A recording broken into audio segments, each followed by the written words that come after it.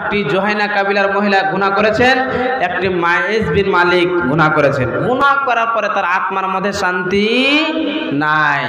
আর একটি মহিলা আল্লাহর নবীর কাছে এসে হাজির হয়ে গেছেন। সে মহিলাটি কে গো? সে মহিলাটি কে? যে আল্লাহ নবীর কাছে এসে হাজির হয়েছেন, হাদিসের এবারত দিয়ে বুঝতে পারবেন, এই মহিলাটি বিয়ে করেছেন, বিয়ে হয়ে গেছেন, হওয়ার পরে ইউনিও জেনা করেছেন, আল্লাহর নবীর কাছে এসে হাজির। একটা উঁচু হয়ে গেছেন আল্লাহর নবীর কাছে এসে হাজির। মা বোন, অন্তত পর্দার দিকে ম্যাকের দিকে লাগিয়ে হাদিসটা শুনবেন। আপনাদের জন্য বলছি, চাইছি না যে আমরা থাকতে আপনারা গুনাহ করবেন, এটা আমরা চাইছি না, অন্তত একটু শুনবেন, ভালো লাগবে বড্ড হাদিসটা। আল্লাহর নবীর কাছে এসে মহিলাটি হাজির। আল্লাহর নবী গো, আমি গুনাহ করেছি, আমি জেনা করে নিয়েছি। আল্লাহর নবী, আপনি আমাকে রজম করে দেন। এরকম ভাষা, আহা, ইমানটা দেখেন মা বোন। একটা আমি পুরুষদের হাদিস শোনালাম, দুখানটা মহিলাদের হাদিস শোনাচ্ছি। একটা শুনিয়ে দিয়েছি, একটা শোনাচ্ছি, শুনে। আমার পেটে বাচ্চা হয়েছে। তো আল্লাহ নবী কি বলছেন? দেখেন মহিলাটিকে। ও মহিলা ইরে যে তুমিও ফিরে যাও। তুমি আল্লাহর কাছে তওবা করো। তুবি ইলাইহি। মহিলারে তুমিও যাও আল্লাহর কাছে তবা করে নাও। আমার আল্লাহ সমস্ত মাফ করে দিবেন। তিনি হলেন দয়াবান, তিনি দয়াবান। বন্ধুরে, একটু আমার দিকে তাকান। হাদিসটা শুনেন, মহিলা কি বলছেন? মহিলার ইমানটা দেখেলেন মহিলা বলছেন, ওগো আল্লাহর নবী, আপনি আমাকে কেন মাইজ বিন মালিকের মতন আমাকে পাঠিয়ে দিচ্ছেন ফিরিয়ে দিচ্ছেন। আমি বুঝতে পারছি না। আল্লাহ নবী তখন বলছেন, একটু গুরুত্বপূর্ণ কথা বাবাজিরা আমার ভালো করে শুনবেন। আল্লাহ নাই বলছেন, ও মহিলা, তোমার মাইজ বিন মালিকের সাথে তোমার কি সম্পর্ক? তখন বলছেন আল্লাহ নবী গ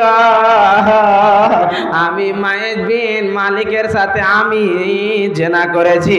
আমি হলাম সে মহিলা যে মাইজকে তুমি রজম করে দিয়েছ। আমার সাথে জেনা করেছেন। যেমন জেনা করেছেন আল্লাহ নবী গ। আমার পেটে বাচ্চা হয়েছেন। আল্লাহ নবী বলছেন, এ মহিলা, তুমিও ফিরে যাও। তোমার যখন সন্তান ভূমিষ্ঠ হয়ে যাবে রে তখন তুমি ফেরত চলে আসবে, আমার কাছে আসবে। আমি তোমার হাতটা মোতায়েন করে দিব। বন্ধুরে আমার হাদিসের এবারতের মধ্যে পাওয়া যায়। একটি আনসারে মহিলা ওনার দেখভাল করার জন্য গিয়েছিলেন। আল্লাহ নবী পাঠিয়েছিলেন। যেমনই সন্তান ভূমিষ্ঠ হয়েছে, আল্লাহ নবীকে খবর হয়েছে, ওগো আল্লাহর নবী, ওই মহিলার সন্তান ভূমিষ্ঠ হয়েছে। আল্লাহ নবী বলছেন, নিয়ে এসো, বাচ্চাটা তুমি নিয়ে নাও। আর মহিলাকে রজম করে দাও। এটি একটি হাদিসের এবারত দ্বিতীয় হাদিসের দিকে চলেন। আল্লাহ নবী বলছেন, ওই মহিলাটি আসার পরে বলছেন, ইয়া হাবিবাল্লাহ, ইয়া রাসূলুল্লাহ আল্লাহ নবী গো। আমি হলাম সে মহিলা, আমি বাচ্চা নিয়ে এসেছি।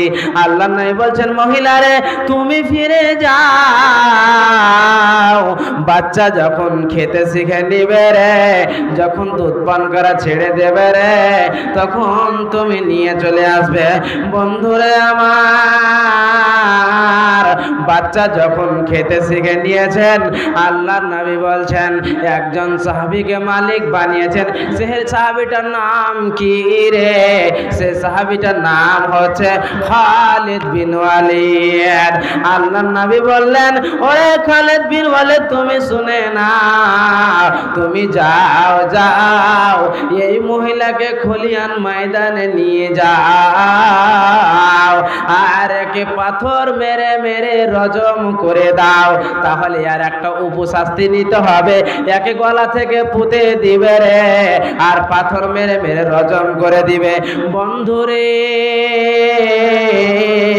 এই কথাটা একটু শুনেলেন। খালেদ বিন ওয়ালিদ এমন একটি বড় পাথর মেরেছে রে। মহিলার মাথায় লেগেছে। খুন জানো বন্ধুরে চারিদিক থেকে মাথা ফেটে যে, খুনটা যেন জমিনে পড়তে লেগেছে।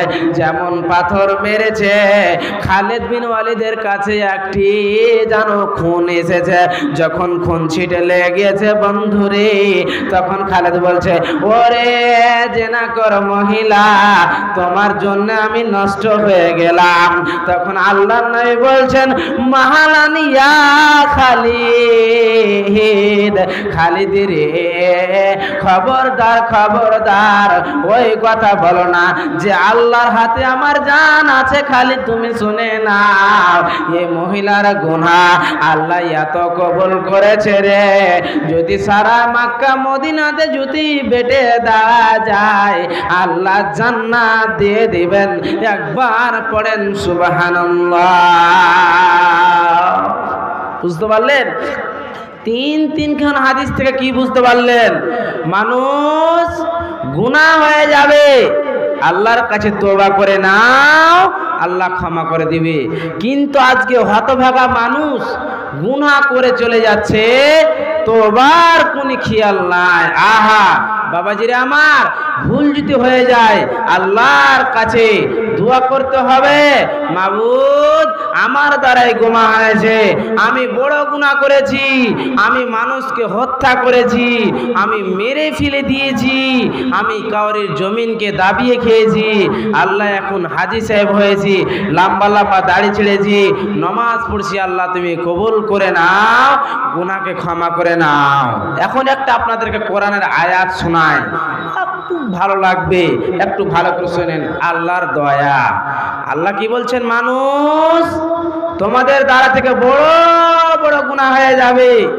তোমরা গুনাহ করে নিবে, বড় বড় পাপ হয়ে যাবে। তোমরা না উম্মিদ হয়ে যেও না যে আমি এত বড় গুনাহ করলাম, আমি এত বড় ভুল করলাম। আমার আল্লাহ বোধহয় আমাকে ক্ষমা করবে না। এরকম হচ্ছে কি হয় না বলেন? এরকম হচ্ছে কি হয় না? বাবা যে একটু কথা বলেন। যে আমি এত বড় গুণা করে নিলাম, আমার আল্লাহ তো আমাকে বিজিন ক্ষমা করবে না। এই কথাটার মানে সাহি কোরআনের আয়াত আপনারা শুনেলেন।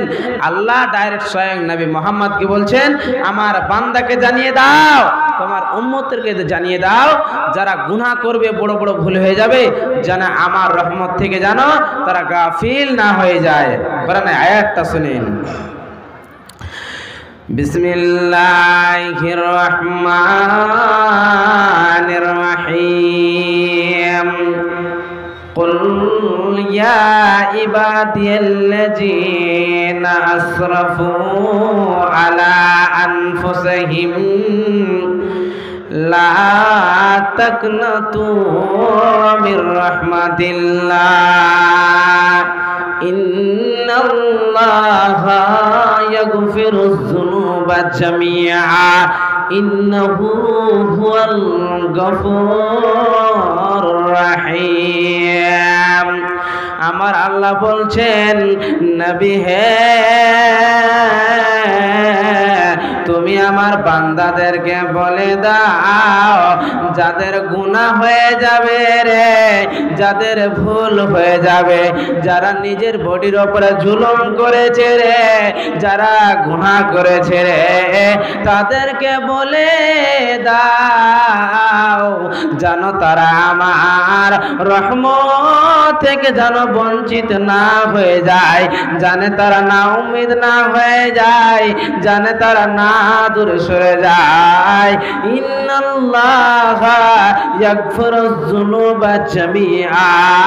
আমি আল্লাহ বড় বড় গুনাহকে ক্ষমা করে দেব রে। আমি হলাম ক্ষমাবান। রহিম।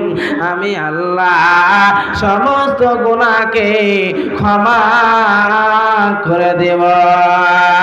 ওতে বন্ধুরে, গুনাহ হয়ে যাবে। আল্লাহর কাছে হাত তুলে তোবা করবেন। আল্লাহ, আমি ভুল করেছি। আল্লাহ, তুমি আমাকে ক্ষমা করে দাও। ক্ষমা করে দাও। তাহলে আল্লাহ ক্ষমা করে দিবেন। একটু আস্তে আস্তে আগিয়ে চলেন, তাহলে বুঝতে পারবেন। পৃথিবীতে আমরা তো আদম সন্তান আল্লাহর বান্দা আমাদের দ্বারা গুনাহ হয়ে যাচ্ছে। আমাদেরকে কি করতে হবে? আমানু আমাদেরকে তওবায় নাসুহা করতে হবে, আল্লাহ। আমি যে ভুল করেছি, আমি আর গুনাহ করব না। তা আপনা আমরা হলাম আল্লাহর বান্দা। আল্লাহর নবী, কয়েকজন নবীর ঘটনা আমি আপনাদেরকে শোনাই। তার দ্বারাতে ভুল হয়েছে।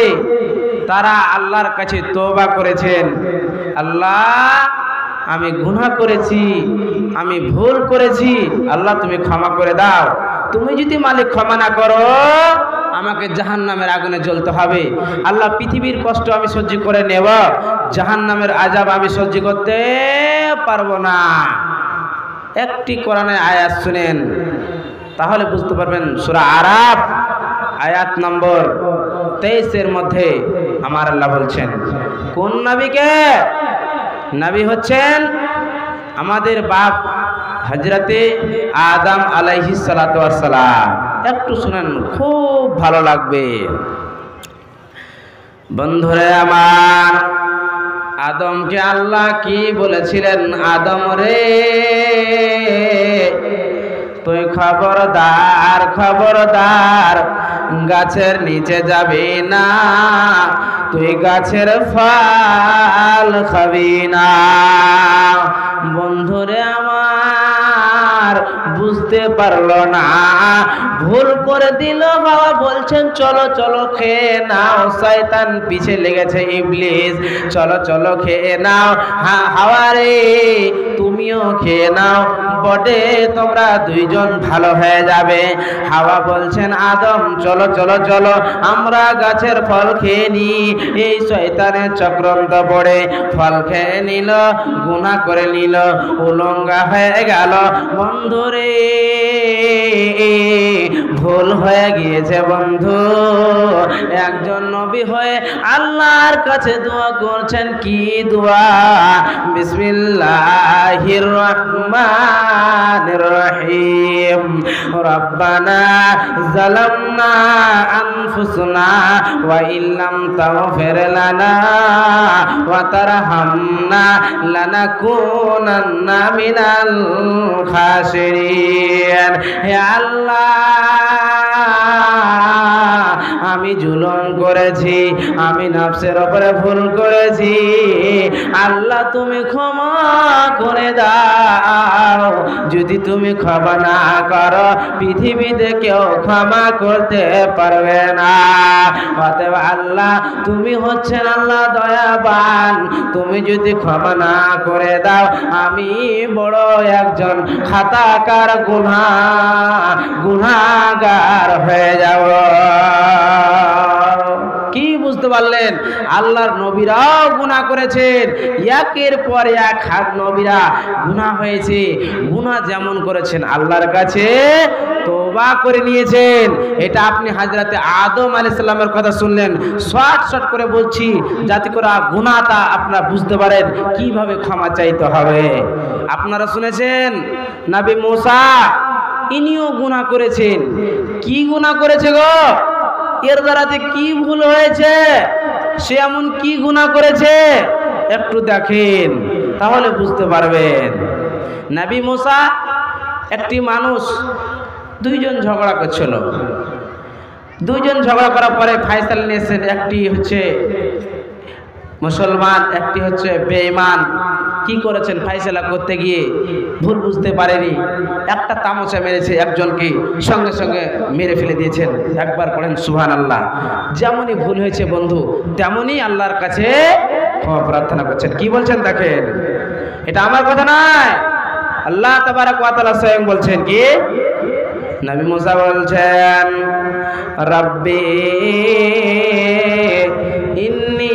জালামতু নফসি ফাগফিরলি।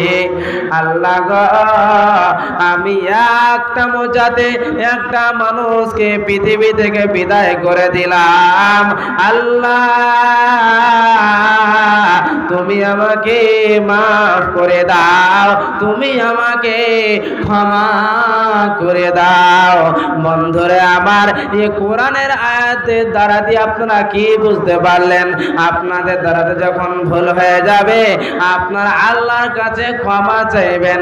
আমার আল্লাহ হলেন দয়াবান, তিনি হলেন মেহেরবান, তিনি হলেন ক্ষমা একটা আপনাদেরকে আর একটা হাদিস শোনাই, তাহলে বুঝতে পারবেন কেমন ক্ষমতাবান আমার আল্লাহ। হাদিসের আবিকে হাজরাতে আবু হুরাইরা আল্লাহ বলছেন, মানুষ, তোমরা শুনে নাও। এই হাদিসটা সাহি বুখারি শরীফ হাদিস আপনারা বুঝবেন। খুব ভালো লাগবে, একটু সাজিয়ে বলছি। হাদিসটা শুনেন। রাবি কে গো? হাজরাতে আবু হুরাইরা তিনি হচ্ছেন আল্লাহর নবীর সাহাবি। তার দ্বারাতে কোনই ভেজাল নাই গুনা নাই। অনেক হাদিস, পাঁচ হাজার চাইতে ওপরে তার জবানি মুখাস্তি ছিল হাদিস। রবিকে হাজরাতে আবু হরাইরা তিনি বলছেন কি? একটু হাদিসটা শুনেন। একটা লোক কোনো দিন নামাজ পড়িনি। আপনারা এখানে মোনাফিক দেখতে পাবেন। হাদিস কোরআনের কথা শুনবে, কোরআনের কথা শুনবে, হাদিস শুনবে। কিন্তু যখন কিছু টাকা পয়সার দিকে আসবেন আলোপ আলোচনার দিকে আসবেন, তখন তারা পালিয়ে যাবেন। আপনারা নিজে তাকিয়ে তাকিয়ে দেখতে পাবেন। হাদিসটা আগে শুনেন, তারপরে বুঝতে পারবেন। একটা লোক কোন দিন নামাজ পড়িনি, রোজা করিনি। আচ্ছা বলেন তো, এই লোকটাকে জান্নাতে যাবে? আপনারা কেউ বলতে পারবেন? একটা লোক কোন দিন নামাজ পড়েনি এই লোকটাকে জান্নাতে যাবে আপনারা বলবেন মাওলানা সাহেব জান্নাতে কোনো দিন যাবে না যে লোকটা নামাজ পড়েনি রোজা করেনি হজ করেনি জাকাত দেয়নি ইসলামের কোন শরিয়াতের আইন কারণ কিছুই মানেনি সেই লোক কি করে জান্নাতে যেতে পারে আহ হাদিসটা শুনেন وعن ابي هريره رضي الله تعالى عنه قال قال رسول الله صلى الله عليه وسلم রাবি হচ্ছেন হাজরাতে আবু হুরায়রা। বন্ধুরে আমার তিনি বলছেন একজন মানুষ কোনোদিন নামাজ পড়েনি। তেইশা সন্তানকে ডেকে বলছেন, বাবারে, তোমরা এসো। আমি হয়তো মারা যাব। আমি বয়স্ক হয়ে গেছি। আমি বুড়ো হয়ে গেছি। আমি হয়তো বাঁচব না। ছেলে রে তোমরা শুনে নাও, আমি যখন মারা যাব, বাবা, আমাকে তোমরা পুড়িয়ে, তোমরা ছাই করে দিবে, তোমরা পুড়িয়ে দিবে। বাবাজিরা আমার একটু ভালো করে শুনেলেন, যেমন বলেছেন, কিছুদিন পরে তার বাবা দুনিয়ে থেকে বিদায়। বন্ধুরে, আমার যেমন যেমন বাবা বলেছেন, তেমন তেমন করেছেন বন্ধুরে। বাবা যখন মারা গিয়েছেন ওই মারা যাওয়ার পরে পুড়িয়ে ছাই খাই করে দিয়েছেন। আর বাবা বলেছেন, বাটারে, তাকে তোমরা দুই ভাগ করে নিবে। একটি হাওয়ায় উড়িয়ে দিবে, একটি তোমরা সমুদ্রে ফেলে দিবে। বন্ধুরে আমার, তেমন তেমন করেছেন। আল্লাহ বলছেন, লেমা ফালতা হাজা, ও বান্দা, তুমি শুনে নাও তার আগে আল্লাহ বলছেন, ওরে হাওয়া, তুমি শুনে নাও। ও সমুদ্র, তুমিও শুনে নাও। তোমাকে যে ছাইটি উড়িয়ে ফেলানো হয়েছে, জমা করে দাও। হাওয়াকে বললেন, পানিকে বলছেন, তুমিও জমা করে দাও। জমা করে আবার আল্লাহ মানুষ বানিয়ে দিয়েছেন সকাল বানিয়ে দিয়েছেন। আল্লাহ যাই চাইবেন, তাই বানিয়ে দিবেন, বন্ধুরে আমার। আল্লাহ তখন বলছেন, বান্দাকে, বান্দারে, লেমা ফালতা হাজা, তুই কেন এমন এমন করলি বাল? তুই কেন এমন করলি বাল? কেন পুড়াইতে বললি? কেন উড়িয়ে দিলে? তখন বলছে, বান্দা বলছে, আল্লাহ মিন খাসিয়াতে ইয়া রব্বে। আল্লাহ গো, আমি তোমার ভয়ে করেছি গো আল্লাহ। তুমি আমার রব, তুমি সমস্ত জিনিস জানো, আমি তোমার ভয়ে করেছি। কোনদিন নামাজ পড়িনি। কোনদিন রোজা করেনি, হজ করেনি জাকাত দেয়নি। আল্লাহ এই জন্য পুড়াইতে আমি বলেছি আমার সন্তানকে। আল্লাহ বলছেন, তাই নাকি? বান্দা বলছেন, জি, আল্লাহ আমি ওই জন্য করেছি। আল্লাহ ফেরেশতাদেরকে বললেন, যাও, একে তোমরা জান্নাতে ভরে দাও। একবার পড়েন, সুবহানাল্লাহ। একই তোমার লীলার দয়াল? একই তোমার খেলা? কি তোমার লীলার দয়াল? একই তোমার খেলা? সকল বেলায় আমি রে ভাই ফকির সন্ধ্যা বেলা। এটা আল্লাহর কি লীলা খেলা নাই? বলেন, এটা কি আল্লাহর লীলা খেলা নাই? যে লোকটা কোনি দিন নামাজ পড়েনি রোজাও করেনি হজও করেনি জাকাত দেয়নি, ইসলামের কোনি কাজ করেনি তাও আল্লাহ ওনাকে জান্নাত দিয়ে দিয়েছেন। আহা, বন্ধুরা আমার আর একটি হাদিস শুনেন, তারপরে আমি কিছু আগিয়ে অন্যদিকে যাব। বিষয়টা একটু চেঞ্জ করে কিছু আপনাদের কাছে নেব। হাদিসটা শুনেন, একের পর এক হাদিস শোনাচ্ছি। রাবিকে, হাজরাতে আবু সঈদুল খুজরি রাজিয়াল্লাহু তাআলা আনহু। একটু হাদিসটা শুনেন, খুব ভালো লাগবে। এটাও ভালো হাদিস, সেই হাদিস। আল্লাহর নবী বলছেন আচ্ছা বলেন তো, আজকে যদি আপনারা এইখানে যতজন বসে আছেন, যদি একশো জনকে কাতাল করে দেন, পঞ্চাশ জনকে কেটে ফেলে দেন, আপনি কি বলতে পারবেন? এই লোকটা জান্নাতে যাবে? বলতে পারবেন? কেউ বলতে পারবেন না। যাদের জানা আছে হয়তো তারাই বলতে পারবে, কিংবা আল্লাহ ছাড়া কেউ বলতে পারবে না। আহা, হাদিসটা শুনেন, সেই হাদিস আল্লাহ নই বলছেন, কে রাবি? হাজরাতে আবু সঈদুল খুদরি। আবু সঈদুল খুদরি বলছেন, তিনি হচ্ছেন হাদিসের রাবি। আল্লাহ নবী বলেছেন, ওরে আমার উম্মতেরা, তোমরা শুনে নাও, তোমাদের মধ্যে আমার একটি উম্মত ছিল রে। যে উম্মতের মধ্যে উম্মত ছিল রে। ওই মানুষটি এক নয়, দু নয়, নিরানব্বইটি মানুষকে কাতাল করেছেন। বন্ধুরে আমার, কাতাল করার পরে উনি একটি বড় আলিমের কাছে গিয়েছেন, বড় মুলবির কাছে গিয়েছেন, মানুষকে জিজ্ঞাসা করেছেন, ভাইরে আমার, আমি এক নয়, দুই নয়, নিরানব্বই জন মানুষকে আমি কেটে ফেলে দিয়েছি। অতএব একটা যদি ওরকম বড় আলিম থেকে যাই তোমরা আমাকে বলো, আমি যে ওনাকে প্রশ্ন করব। বন্ধুরা, আমার কেউ বলেছেন, যাও, গ্রামে একটি বড় আলিম রয়েছে, ওনার কাছে তুমি চলে যাও। ওনার কাছে গিয়েছেন বলছেন, মাওলানা, আমি বড় ভুল করেছি রে। আমি নীলানাথ বৈজ মানুষকে কাতাল করেছি, কেটে ফেলে দিয়েছি। বলেন তো, আমার কি আল্লাহ গুনাহ মাফ করবে নাকি? বলছেন, না না না, তোমার গুনাহ কখনোই মাফ হবে না। ওকে কেটে ফেলে দিয়েছেন, বন্ধুরে, কয়টা হয়ে গেল বলেন? একশো হয়ে গেল। আবার চিন্তা করতে লাগল, আমি তো একশো পুরিয়ে দিলাম। আবার বলছেন, ও, তোমরা শুনে না কেউ কেউ বড় মানুষ আছে নাকি? যে কি করবে আলিম যদি থেকে যায়, আমি একশো জনকে কেটে ফেলে দিয়েছি। আমার আল্লাহ আমাকে ক্ষমা করবে কিনা? বন্ধুরা, আমার হাদিসটা শুনেন শেষের দিকে আপনি যখন যাবেন, কত ভালো লাগবে বন্ধুরে।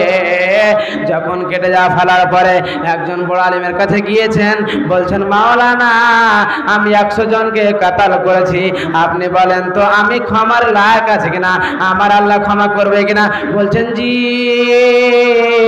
আপনি বাড়ি থেকে বের হয়ে একটি খলিহান ময়দানে চলে যান। ওখানে মসজিদ রয়েছে। সমস্ত মাছ গিড়গিড়িয়ে তোবা করে আল্লাহর কাছে কাঁদছেন, যারা গুণা করেছে। যাও যাও। বন্ধুরে আমার, হাদিসের বড়টি বুঝেলেন। যেতে যেতে যেতে যেতে কিছুক্ষণ দূরে মানুষটি মারা গেল। মানুষটি মারা গেল কে রে? যে একশো জন মানুষকে পৃথিবীতে কাতাল করেছেন, মেরে ফেলেছেন হাসপাত তারবারে দিয়ে কেটেছেন বন্ধুরে আমার, যেমনই মরেছেন। আল্লাহর দুজন ফেরুস্তা, জান্নাতি ফেরুস্তা এবং জাহান্নামী ফেরুস্তা এসে হাজির। দুইজন ঝগড়া লেগে গেছেন বন্ধুরে, দুইজন ঝগড়া লেগে গিয়েছেন। উনি বলছেন, জাহান্নামে যাবে।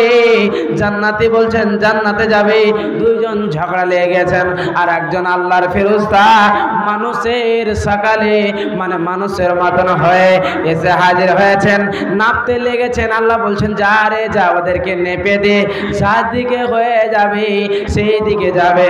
বন্ধুরে আমার, নাপতে নাপতে নাপতে দেখছেন, জাহান্নামি হয়ে যাচ্ছেন। আল্লাহ বলছেন, মাটি রে, বল, তুই কার হুকুমে চলিস? বল। তখন বলছে আল্লাহ তোমার হুকুমে আমি চলি। আল্লাহ তোমার হুকুমে চলি। তবে মাটি রে তুমি একটু আগে বেড়ে যাও, আমার বান্দাকে জান্নাতি করে দাও। আগে বেড়ে গেল, জান্নাতে চলে গেল বন্ধুরে। তাহলে বলেন তো, আল্লাহর কত দয়া, আল্লাহর কত মায়া। আল্লাহ জান্নাতে দিয়ে দিলেন। আল্লাহর এক নয়, দুই নয়, নিরানব্বইটি দয়া রয়েছে, বান্দাকে একটি দিয়েছে। বুঝতে পারলেন? আল্লাহর দয়া, মানুষ এখনও সচেতন হয়ে যান, সাবধান হয়ে যান।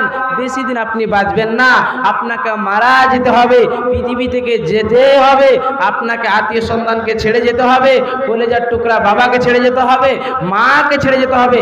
আপনি যদি আমলকে ভালো করেন, তাহলে কামিয়াব হয়ে যাবেন। আপনার যদি আমল ভালো না হয়, আপনি কোনো দিন কামিয়াব হতে পারবেন না। কোনো দিন হতে পারবেন না। আপনি কি চিন্তা ভাবনা করে দেখেছেন যে আমার দ্বারা কত ভুল হয়েছে? আমি কত পাপ করেছি, কত ভুল করেছি? আহ একটু আগিয়ে চলেন তাহলে বুঝতে পারবেন হতভাগা মানুষ। আমাদেরকে গুনাহ হওয়ার পরে আল্লাহর কাছে তোবা করতে হবে। নচেত আমরা কামিয়াব হতে পারব না। আর একটি নবীর কথা শুনলেন, তারপর আর একটি আপনাদেরকে সেই হাদিস শোনাবো। একজন নবীকে ভুল করেছেন গো। তার দ্বারা তো বড় ভুল হয়েছে। সে নবীটা কে?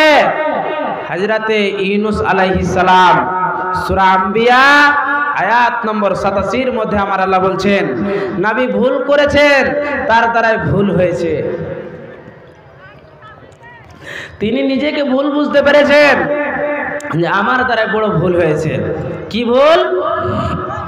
মার বিনা পারমিশন মা বাবার পারমিশনে বাড়ি থেকে বের হয়েছে। জাহাজে চড়েছে, আপনারা জানেন। জাহাজ চলে না, আগে পিছে বাড়ে না। তারা লটারি করতে লেগেছেন। কে তোমরা আছো, ভুল করেছ বলো? ইনেস বলছেন, আমি ভুল করেছি। বাড়ি থেকে আমি চলে এসেছি, রাগ করে আমি ভুল করেছি। আল্লাহর কাছে খবর বলছেন, কি দেখেন? আল্লাহ বলছেন, সুরা আম্বিয়া, আয়াত নম্বর সাতাশির মধ্যে আমার আল্লাহ বলছেন, কি? بسم الله الرحمن الرحيم لا إله إلا أنت إني كنت من الظالمين হে الله তোমার ছাড়া আমার পৃথিবীতে কোনো মাবুদ নাই। আল্লাহ, তুমি রহমান, তুমি রহিম, তুমি গফুর, তুমি গাফার, তুমি দয়াবান। হে আল্লাহ তুমি আমাকে ক্ষমা করে দাও, তুমি আমাকে মাফ করে দাও। আল্লাহ, আমি নিজের বডির ওপরে আমি জুলুম করেছি, তুমি আমাকে ক্ষমা করে দাও। সমস্ত নবীরা একের পর এক ভুল করেছেন, আল্লাহর কাছে তোবা চেয়েছেন। হতভাগা মানুষ ইমানকে মজবুত করেন। আজকে আপনারা শুনেছেন, ওয়াসিম রেজবি কুত্তা।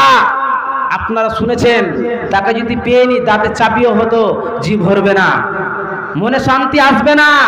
সে বলছেন নাবির মাথায় দেমাগি বিমার ছিল। বলেন তো নজবিল্লাহ মিন বলছেন, তার দেমাগে কাজ করছিল না। তার দেমাগি বিমার ছিল। আমি তো ছাব্বিশ আইটি কথা বলেছি যে মিথ্যা, পুরোটা কোরআন মিথ্যা, আল্লাহ মিথ্যা, দিন মিথ্যা। বলেন তো নজবিল্লাহ মিন জালিক আহা, এটা হলো বেঈমান। একটা ইমানদারের খবর শুনেন, একজন একজন বেঈমান ছিলেন। তার নাম কি? একটু বলতে গিয়ে যাচ্ছি। তার নাম হচ্ছেন আব্দুল উজ্জা। যাকে মাওলানা বসে আছেন, যাকে হাদিসের বাদায় জুল বাদা জাইন বলা হয়েছে, যাকে জুল বাদা জাইন বলা হয়েছে, আমার এই পৃথিবীতে মুসলমান ওয়াসিম কুত্তার মতন কুত্তা ইসলামকে ত্যাগ করে বেমান হয়েছেন।